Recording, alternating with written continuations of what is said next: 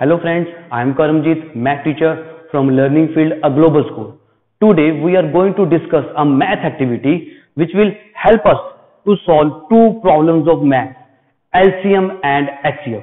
We know the basic method how to solve LCM and HCF. LCM is least common multiple and HCF is highest common factor. We can solve this with a simple method but how to solve these two problems with the help of math activity.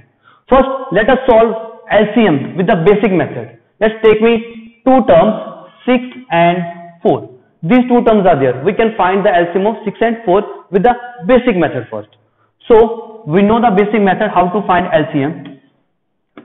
So, I need to find a common number which can divide both 6 and 4. 2 is here because they both are even so we can start with 2. So when I divide 6 with 2, it will give me a 3 as a quotient and here there is a 2. Now, there is again a 2, so I will choose 2 again. So 3 as it is because 3 is not divisible and then 1 is here. And the last 3 I have to take 1 and 1. Now to find the LCM of 6 and 4, I have to multiply 2, 2 and 3. So 2 into 2 into 3. When I multiply, I got 12 as a LCM of 6 and 4. This is the basic method which we are doing from grade 4. But today we will solve this LCM with the help of mathematics kit. So, friends to take the LCM of two number with the help of this mathematical kit Cuisenaire strips. You can see there are number of strips with the different digits okay? Like I solved on the green board I need to take the LCM of 6 and 4 so I will take out 6 and 4 from it. So here are the strips of 6 and 4 let's perform this activity to find the LCM of 6 and 4 to perform this dear I have to make a strip over there.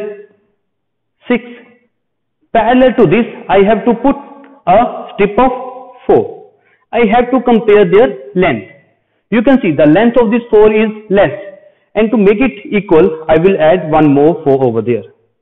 By doing this now the length of 6 is reduced.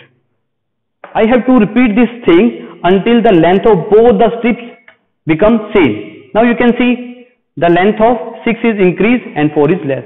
So I will add one more 4.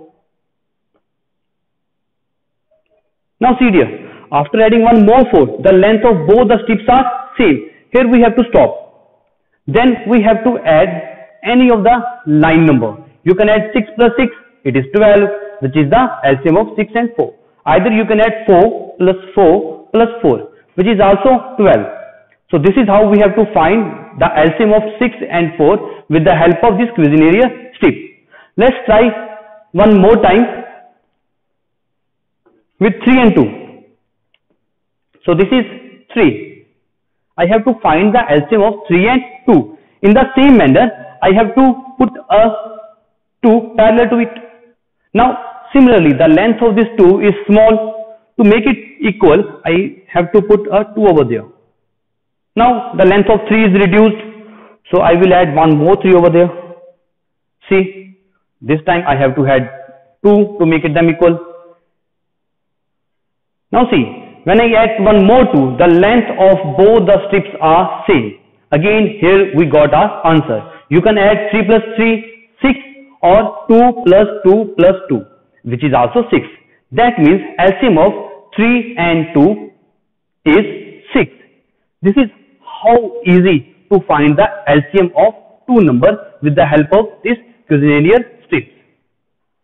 So, similarly to LCM, we can find out HCF of any two number with the help of the same kit.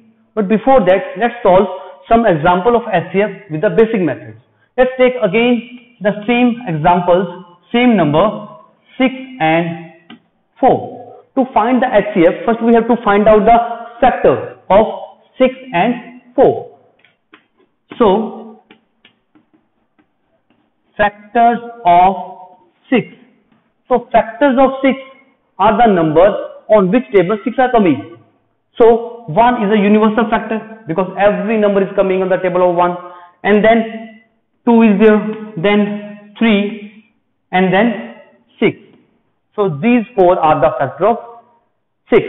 Similarly, factors of 4. 1 is there, next is 2 and then 4.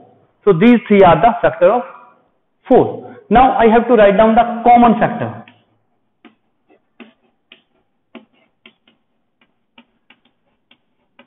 Common factors of 6